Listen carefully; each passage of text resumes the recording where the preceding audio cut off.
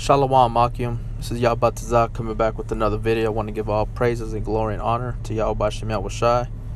Double honor to the elders of Great Millstone. Much love and respect to you brothers out there doing the work in sincerity and truth. Yahweh Shem Shai. Waharakak Wadash Barakatam Akim. Alright. I just want to speak about something that I've been observing uh here at my workplace and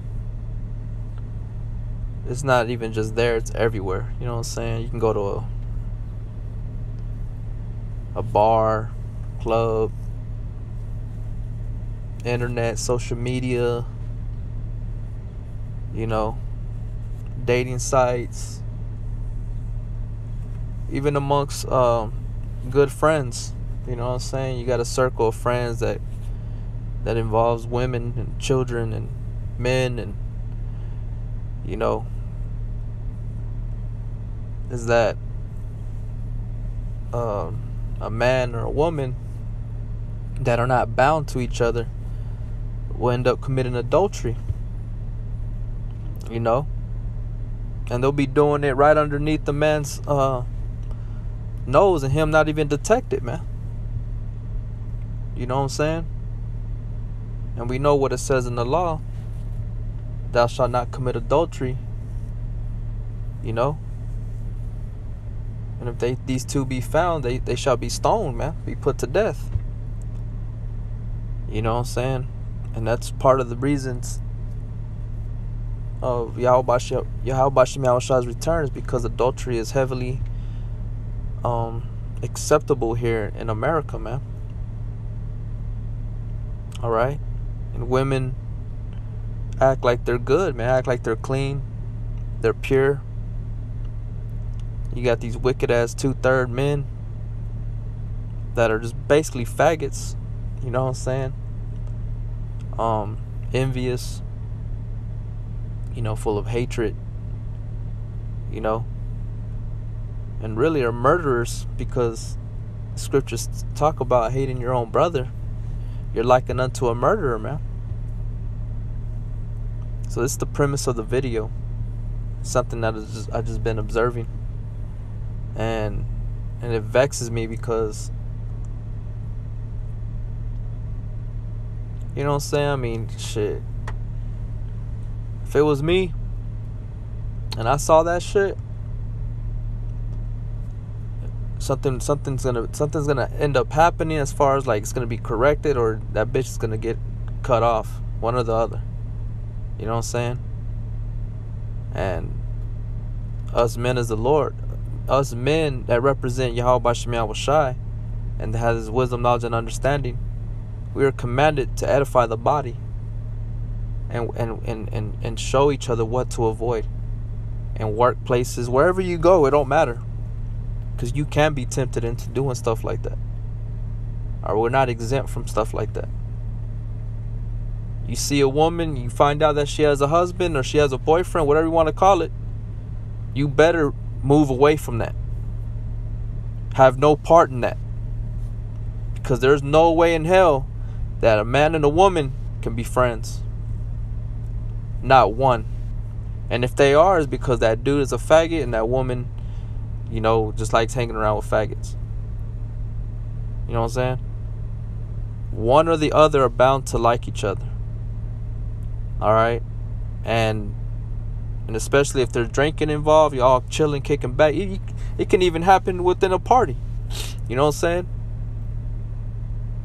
Y'all go into y'all into into an area where it's just y'all two and y'all end up doing something. Because y'all are under the influence but really the whole time you're already having feelings for each other. All right? So it's just something that i've been observing. And I wanted to um you know bring this out. This is in the see here's the book of Sirach 9 and 9 it says sit not at all with another man's wife nor sit down with her in thine arms. All right? So even if it's just you know just trying to be friendly and kick back there's a, to a certain degree but you have to remove yourself from that move on All right. It's not hard to detect if a woman is feeling you, digging you, whatever it is. You know? And that's cool. If she ain't bound to nobody, then deal. But if you know that she has a dude, you know, she's she's uh spoken for, you ain't supposed to be that close, man. Alright? It says, sit not at all with another man's wife, nor sit down with her in thine arms. Because that it's gonna go from just sitting down and talking, laughing, you know, to to you con- uh, uh, uh, um, trying to comfort her because she's starting to tell you her problems with her dude. You know, nor sit down with her in thine arms, and spend not thy money with her at the wine. You know, some guys, they, you know, I remember back in the day when I was younger, you know, our whole purpose of buying beer was to get females to come. You know? Let's get them drunk, you know, play some music. You know what I'm saying? And, and what's the end result? Hooking up. You know? But us men in this truth, we are not to con- uh, conduct ourselves in that manner. All right? Like I said, here in America, it's highly condoned. Um, uh, adultery is highly condoned, condoned here, man. It's highly acceptable. And these proud men, these proud women, they're okay with it. You know? They act like they ain't gonna get touched. They act like they ain't gonna be dealt with regarding that, man. Alright? It says, Least thine heart incline unto her. See? Or your or your heart will uh, incline unto her. You'll get weak. You know, you'll um, your guard will will fall because of you taking it that far. The more you spend time with somebody, it don't matter who it is. You you you become um connected. You know. You be you come even when when it's uh, uh you know two two individual men that are always around each other, they're kicking back together. They become connected to where they they they they, they want to you know hang out and, and, go grab something to eat. You know what i'm saying? There's a connection and when a man and a woman that connection is there too.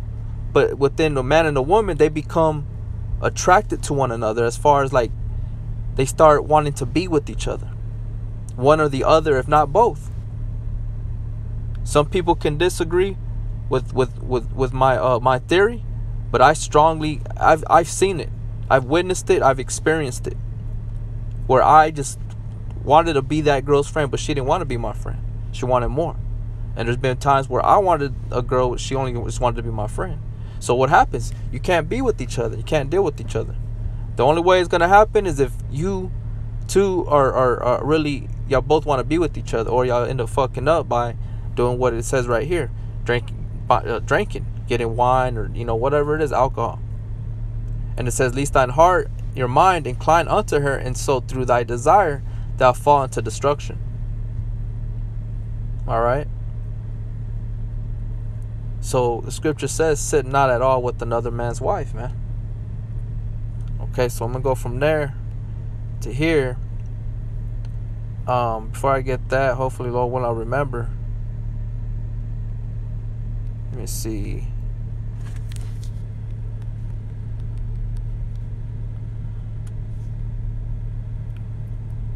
see. Let's go here to Proverbs 6. And, uh,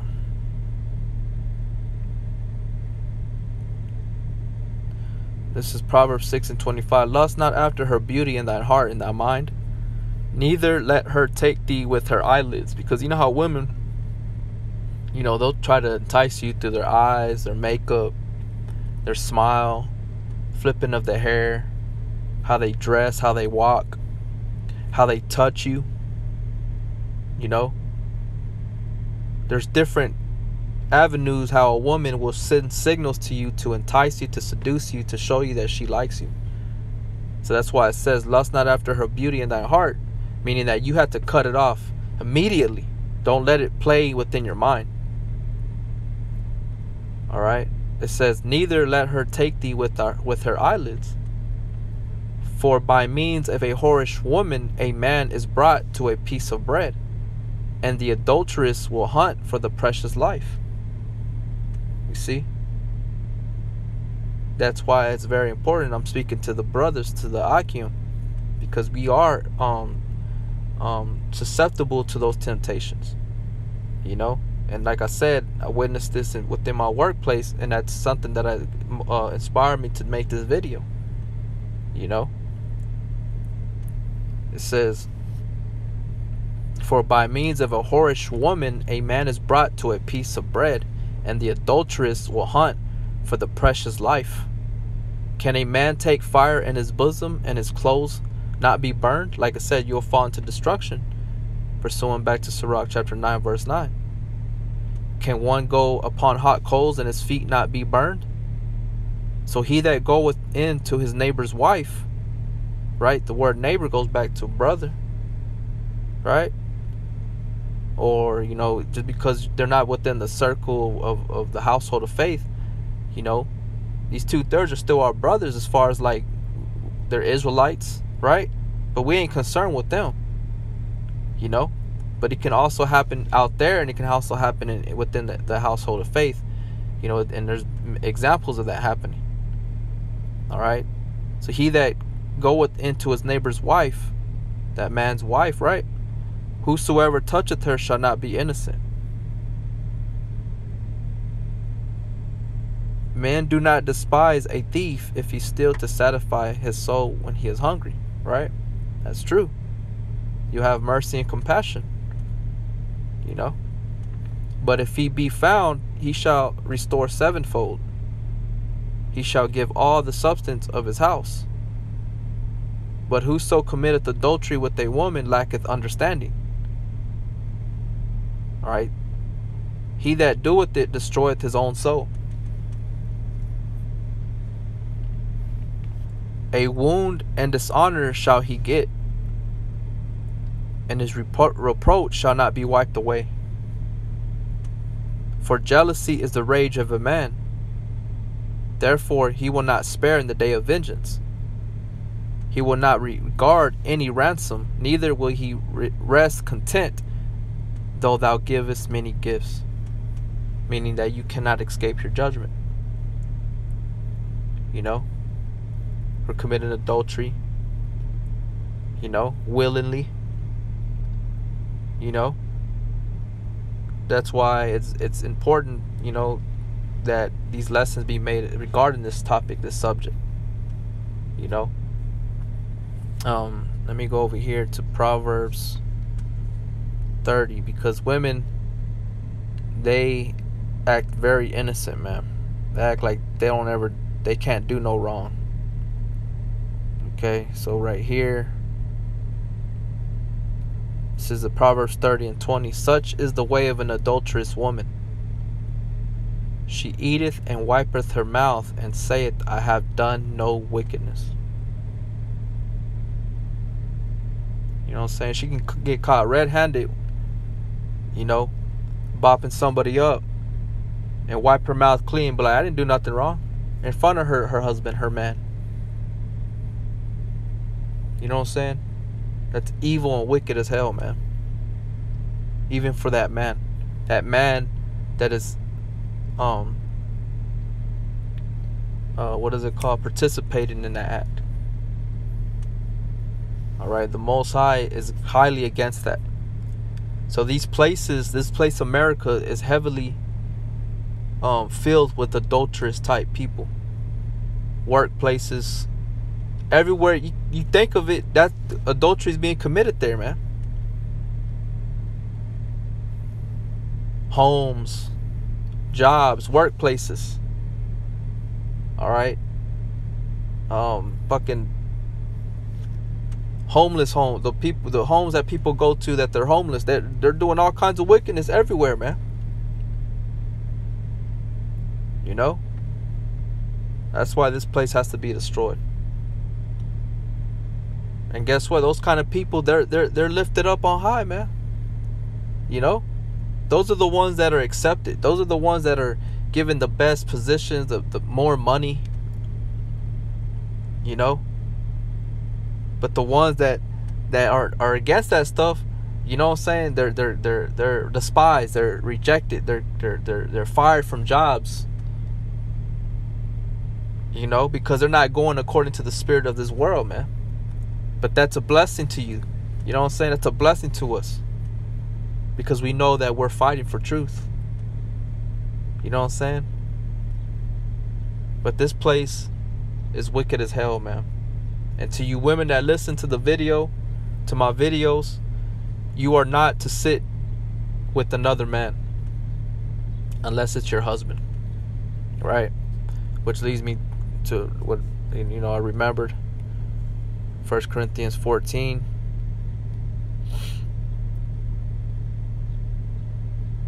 says First, First Corinthians 14 and 34 Let your women keep silence in the churches, for it is not permitted unto them to speak, but they are commanded to be under obedience, as also saith the law. And if they will learn anything, you have no business learning anything from another man. And if they will learn anything, let them ask their husbands at home, for it is a shame for women to speak in the church. Right. Well, well, somebody will be like, well, what do I do when I'm at my job? You ask your boss. You ask, yeah, if there's a man there, yeah, you, it pertains to work, yeah. But like I made mention, men can seduce women too to to to, to uh, sleep with them and things of that nature. But that's where you have to gird up thy loins like a man and and, and fall back. You know.